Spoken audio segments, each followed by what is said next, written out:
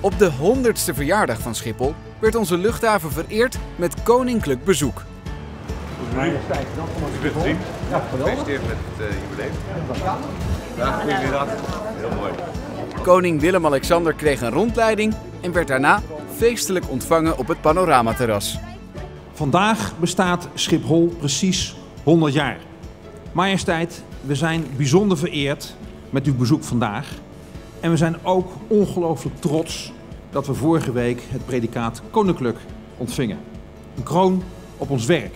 En vandaag staan we hier in het hart van een van de beste grote luchthavens van de wereld. 100 jaar Schiphol is een mijlpaal voor heel Nederland. Schiphol is van ons allemaal. Het is heel bijzonder en waardevol wat hier is opgebouwd. Schiphol, KLM en de andere airlines verbinden ons met de hele wereld. Ik wens alle medewerkers van Schiphol en iedereen die zich met de luchthaven verbonden voelt van harte geluk met dit eeuwfeest. En voor de toekomst wens ik Schiphol een goede vlucht.